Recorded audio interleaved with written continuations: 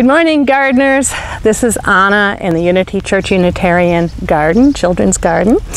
And I am going to be talking about this plant today, a leaf. And um, as we light our chalice, I want us to think about leaves and what they do and the fact that we can eat them. And we are grateful for that. So I'm going to light my chalice. We light this chalice as a symbol of our faith, the light of truth, and the warmth of love. And if you'll sing with me, please. Rise up, O flame, by thy light glowing, show to us beauty, vision, and joy.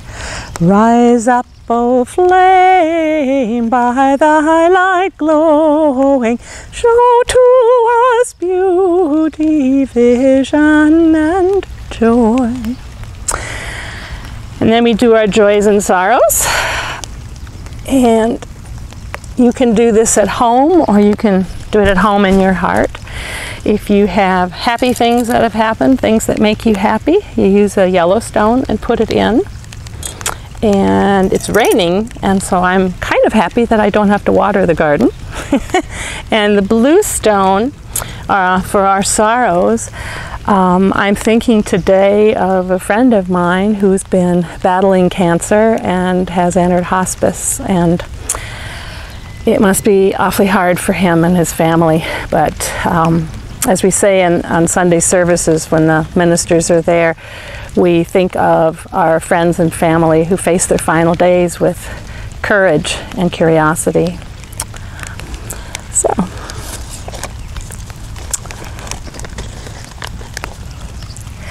We have a story today called Oliver's Vegetables. Oliver's Vegetables by Vivian French, illustrated by Alison Bartlett. Finish up, Oliver, said his mother, or we'll miss the bus. Can't we walk to Grandpa's house? asked Oliver. No, said his mother, it's too far. Hurry up. The best thing about Grandpa's house was the wonderful garden. I grow all my own vegetables, Grandpa said proudly. I don't eat vegetables, Oliver said, told Grandpa. I only eat French fries. If you want French fries, said Grandpa, you must find the potatoes. If you find something else, you eat that and no complaints. Is it a bargain? Oliver ran around the garden, but he couldn't see any potatoes. They must be hiding, he said, and pulled at the nearest leaves. Carrots, said Grandpa, just the thing for Monday supper. That night Oliver ate his first carrots. Oliver took a long time making up his mind on Tuesday. Gran and Grandpa came to watch him. These crinkly leaves are pretty, he said at last. Are the potatoes there? Spinach, said Grandpa. They had spinach for supper. That was good, said Oliver. On Wednesday, Oliver got up early. Potatoes are very important, he said, so they must have big leaves. Here they are. Grandpa smiled. That's rhubarb. They had rhubarb pie that evening. That was very good, said Oliver. It rained on Thursday. When it stopped, Oliver hurried outside. Have you found the potatoes? Grandpa asked. No, said Oliver. I've found slugs and snails. Are they eating my potatoes? Grandpa shook his head. That's cabbage. Oliver had two helpings. Very, very good, he said. On Friday, Oliver was sure that he had found the potatoes. When he pulled at the leaves, up came a bunch of beets. Oliver ate all of his beet salad. Very, very, very good, he said. On Saturday, Oliver played soccer. The ball landed in a tangle of sticks and leaves. Oliver was sure the potatoes weren't there, and Grandpa nodded. Peas, he said. Oliver had three helpings of pea soup that evening. Was it good? asked Grandpa. No, said Oliver. It was delicious. Oliver rushed into the garden on Sunday. Here they are! How did you know? asked Grandpa. They were the only things left, said Oliver. Can we have french fries now? Oliver asked. You scrub the potatoes, said Gran, and I'll peel them. Grandpa can cut them up. Oliver, Gran, and Grandpa sat down to eat. The door opened, and in walked Oliver's mother. She saw the plate of french fries. Oh dear, I did hope Oliver would eat something different while he was here, she said. Oliver and Grandpa looked at each other. His mother stared as they laughed and laughed. Oliver went to his grandfather's garden and he was looking for potatoes because he really liked eating potatoes and french fries and things like that. And his grandfather was very wise and told him to look for the potatoes. And he put a condition on that. He said, anything that you pick, we have to eat. So over the course of the week, Oliver tried all sorts of vegetables that he'd never tried before, and lo and behold, he thought they were pretty good. And I think about that story because often when things are unfamiliar, we're a little scared, a little hesitant to try to do it. And I think of things like um, maybe you're visiting a friend and they have different kinds of food. At, and you've never had it before and you don't know what it's going to taste like and you don't know if you're going to like it but you also know that it would be rude not to eat it. So that's one kind of courage. Um, sometimes in sports we do the same thing. I, I, know a lot of kids whose parents sign them up for swimming lessons and they're kind of scared because they don't know how to swim and they don't know if they're going to be able to. But they go and they learn.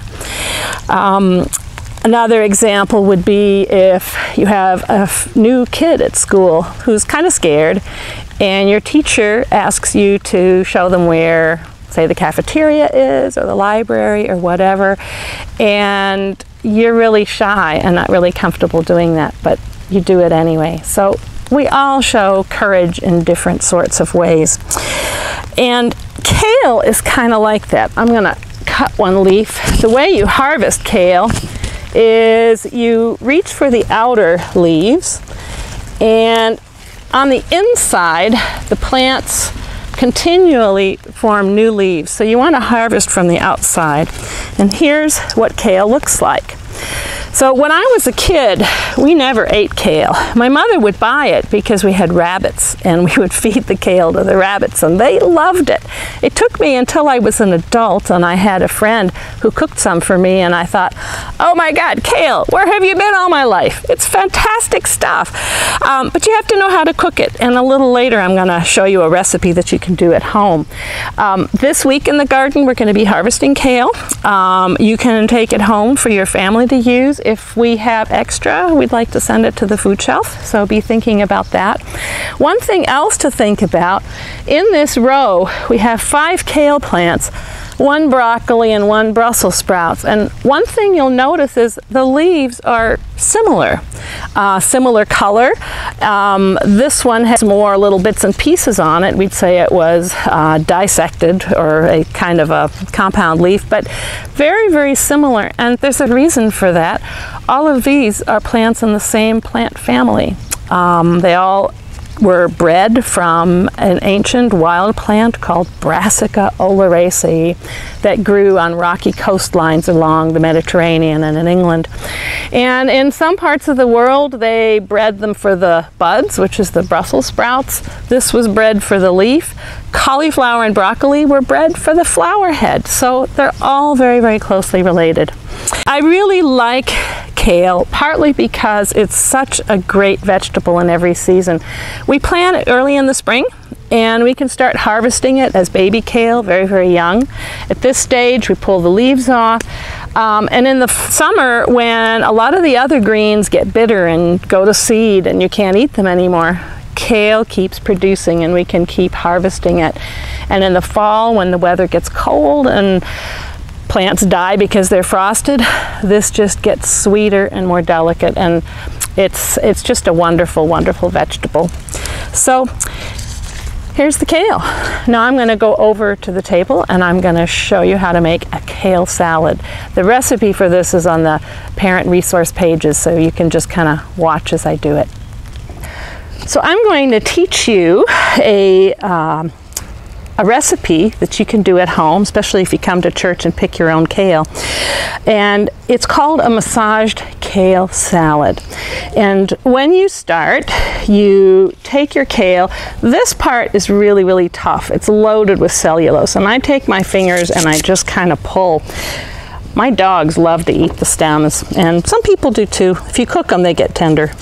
Um, but I take my kale and I pull off all the leafy parts.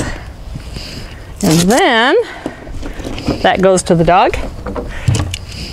And then I take it and I chop it. And this is something you're going to want to have a grown-up do for you or at least watch you very carefully.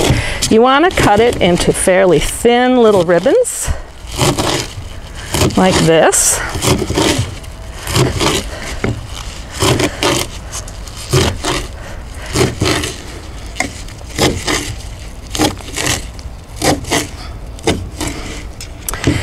And now I have the beginning of my kale salad. So all of those leaves, I had about six of them to start with, are now reduced down to this little mass. I'm going to take a big bowl and put my kale in my bowl. I'm going to sprinkle some salt over it and today I'm using a coarse kosher salt and there's a reason for this.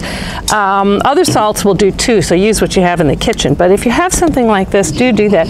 This is a coarser salt it's got more sharp edges and I'm just going to sprinkle that on and then I'm going to take a little olive oil and sprinkle that on too.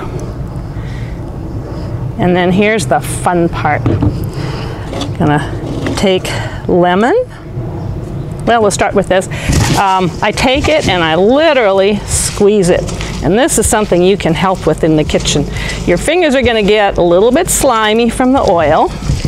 And the salt and the oil help it get broken up. And you'll notice you'll, it'll turn a darker color you will see that. So there's a lot of cellulose in a kale leaf, and cellulose is one of the things, one of the uh, chemicals that plants make that help them get really, really strong as we massage it, we're kind of loosening up that cellulose. We're softening it.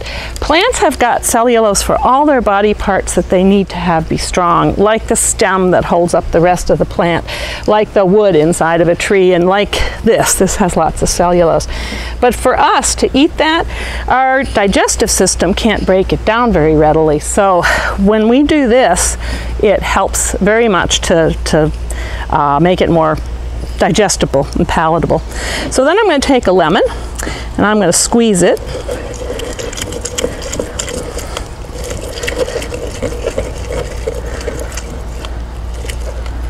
And that's one lemon. And then I'm going to take that juice and add some honey.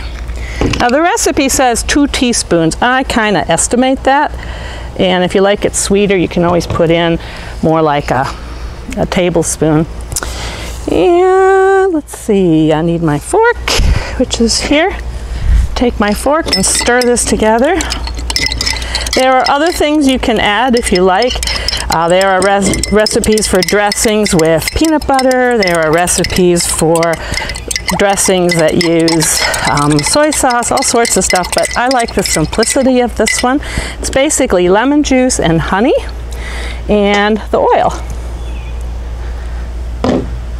And then I add a little bit of pepper, fresh ground pepper.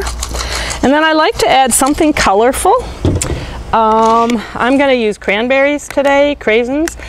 But if you've got a mango at home, if you've got an orange you can cut up, um, anything like that that's colorful and a little sweet, I put in a handful of that. Oh, yum. My husband loves those. And then I want like something with a little crunch. So I'll use nuts. I happen to have some roasted salted pepitas, which are pumpkin seeds, and I'll put those in there. And then after I stir this all up, I have a pretty yummy massaged kale salad. And we will eat that for lunch today. And here's what it looks like. All right, we are at the end of our lesson. We know all about kale.